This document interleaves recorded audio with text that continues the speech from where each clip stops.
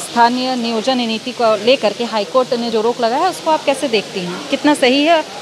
और विद्यार्थियों के लिए खास तौर पर क्या उनके भविष्य को एक अंधकार में नहीं लेके गया है ये फैसला?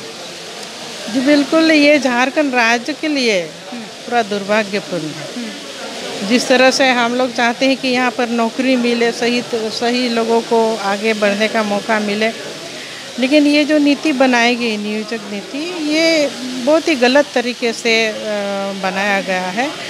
जो है कि इस नीति के ये में अगर हम लोग देखते हैं तो बाहरी वाले ही ज़्यादा इस नीति के आड़ में ले करके बाहरी वाले को ज़्यादा नौकरी मिली है।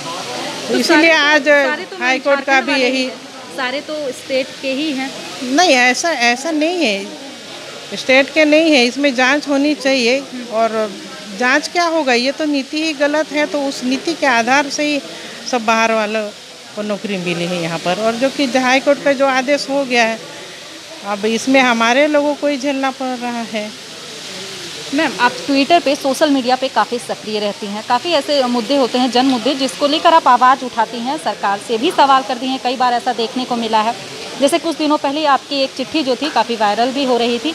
तो मैं आपसे ये जानना चाहूँगी आपके जो आपके जो ट्वीट रहते हैं उसको लगातार आपकी बे, दोनों बेटियों के द्वारा रिट्वीट किया जाता है। बेटियों का कितना सहयोग मिलता है मैम आपके पॉलिटिकल काम? पूरा सहयोग मिलता है कितना समझ पाती हैं आपके पॉलिटिकल काम? हाँ बिल्कुल पूरा सहयोग मिलता है क्योंकि आप लोग बड़े हो चुके हैं समझ समझदार हो गए हैं सारी चीज़ों को देखते हैं समझते हैं अपने तरीके से इसीलिए। आपने एक ट्वीट में ये भी लिखा था कि मेरी बेटी जो है वो अब समझदार हो, हो गई है पॉलिटिकल की अच्छाई और बुराइयाँ दोनों को समझने लगी है।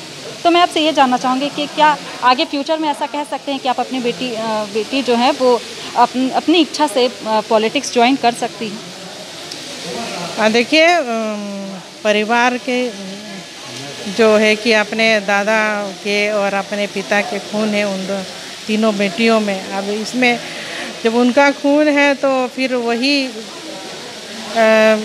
उनके ये में भी चलता है कि कि हम लोग भी अपने दादा दादा और पिता के जैसे पॉलिटिक्स में आए। वो तो है ही आगे तो देखा तो जाए मतलब उनके घर में आप रहती हैं काफ़ी समय बिताती हैं। क्या उनके साथ रह के ऐसा आपको लगता है कि ये भी आगे फ्यूचर में पॉलिटिक्स से ज्वाइन करेगी जे एम एम ज्वाइन करेगी? बिल्कुल ये तो पूरा इच्छा है तभी वो लोग इंटरेस्ट भी लेते हैं।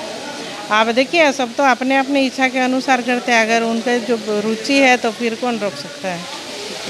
तो यहाँ हमारे साथ सीता सोरेन बात कर रही थी। लगातार ये सोशल मीडिया पे काफ़ी सक्रिय रहती हैं और इनकी बेटियों के द्वारा भी इन्हें काफ़ी सहयोग मिलता है और इन्होंने साफ़ तौर पे कहा है कि आगे फ्यूचर में जो इनकी दो बेटियाँ हैं, वो भी पॉलिटिक्स में आने की पूरी संभावना है। तो फ़िलहाल देखना होगा कि आगे क्या होता है।